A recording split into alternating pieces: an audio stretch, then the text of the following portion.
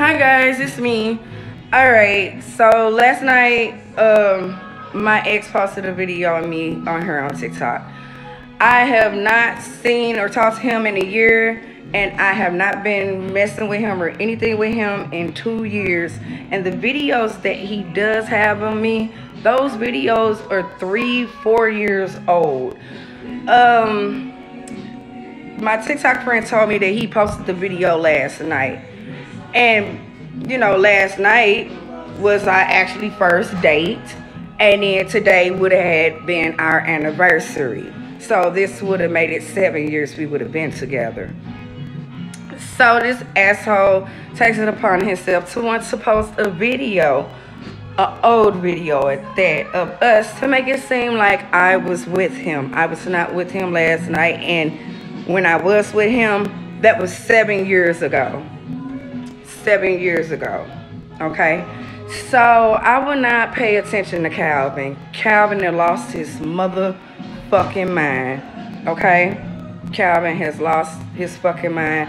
If there are any other videos of me with anybody else, nine times out of ten, the asshole recorded the video without my knowing or whatever not. So.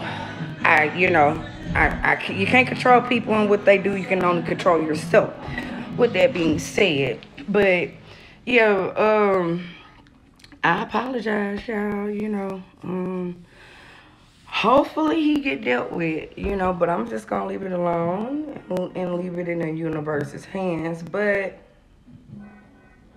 Babe, I wasn't with that motherfucker. I, I was at home in the bed, not cleaned the fuck out okay and actually i've been asleep all day today and i just got really the fuck up for real on some real ass shit.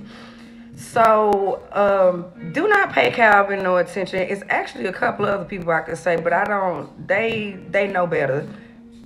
Calvin don't because he's retarded and he's stupid. And calvin i need you to stop because now you're contradicting your lies right along with everybody else that you had in cahoots with your lies you know, in, including, you know, those uh, witches and those readers that are on TikTok, that are on Facebook, that are on YouTube as well. And you guys would know who's in cahoots with him because they would pretty much be saying the same stupid shit that he was saying about me. Trying to say I was karmic. Well, I am not, and that's obvious.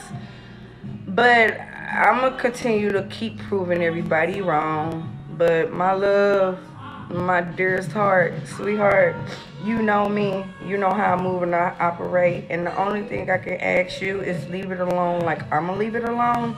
And we just to let nature run its course. I love you.